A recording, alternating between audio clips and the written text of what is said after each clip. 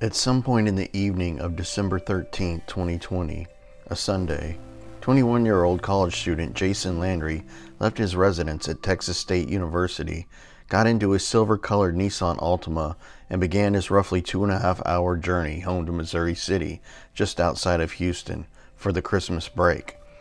Jason never made it home. At 12:30 a.m. on the same night Jason left for home, his car was found abandoned by a volunteer firefighter on a dirt road called Salt Flat Road. The location where the car was found was roughly a 30 minute drive from Jason's residence at the college.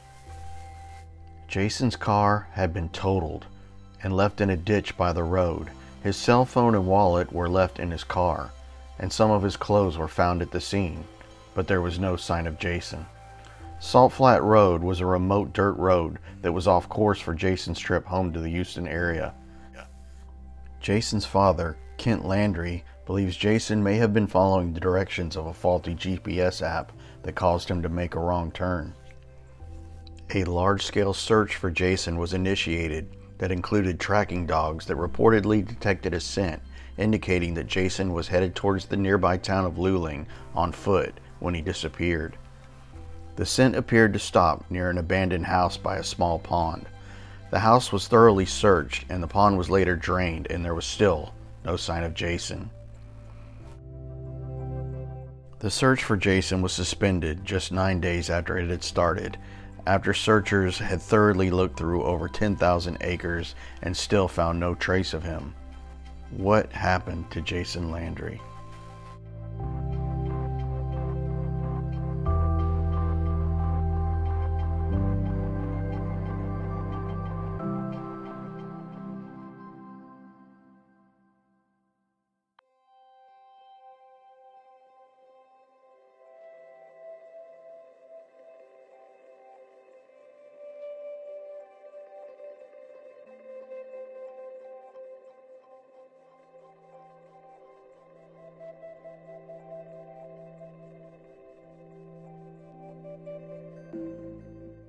So that is just a brief synopsis of the story of how Jason Landry went missing.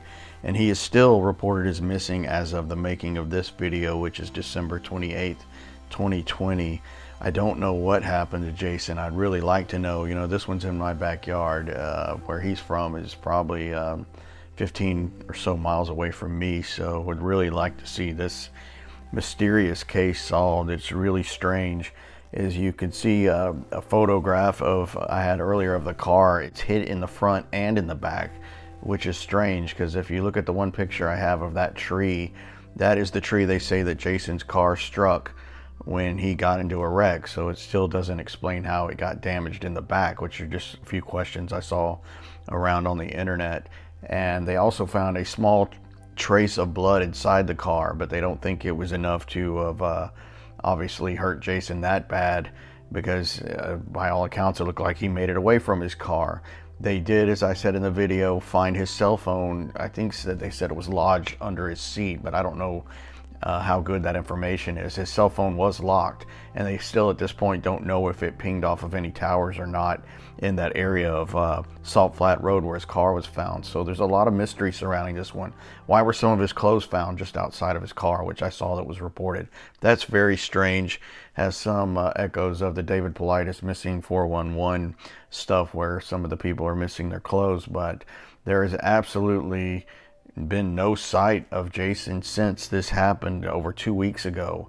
And I'm sure his family is very frantic. So if anyone has any ideas, please put them in the comment section and I'll of course keep everyone up to date on this case. Thanks for watching.